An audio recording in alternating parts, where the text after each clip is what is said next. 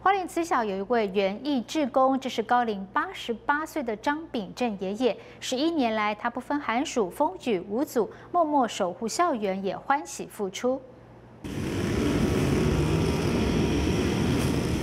背起割草机来回除草，好体力让人看不出张炳正已经八十八岁了。当初因为外孙女刘心荣而来到花莲慈小当志工，久而久之成了大家口中的心荣爷爷。身体健康嘛，这个也就是没有事嘛。你在家里有什么事情呢？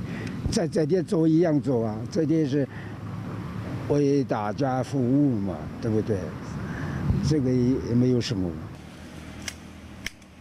总是谦卑无所求，十一年来天天风雨无阻到学校报道，这样的精神也成了小朋友的典范。爷爷都已经比我们老了，而且还打扫的这么努力认真，那我们这么年轻、年轻力壮的，应该会打扫的更更好。小朋友亲手制作海报，拼贴出爷爷的形象，也将内心的感恩透过文字一一表达。打扫很辛苦啊，就是。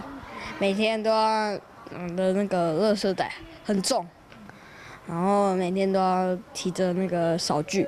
付出不止欢喜，还让爷爷越做越健康。如今外孙女已经到外地读大学，爷爷依旧在每个角落默默守护校园。大爱新闻江信信、邓明仪，花莲报道。